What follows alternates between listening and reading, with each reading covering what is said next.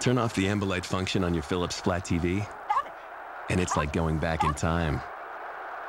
The only flat TV with Ambilight from Philips. You'll never go back to ordinary TV.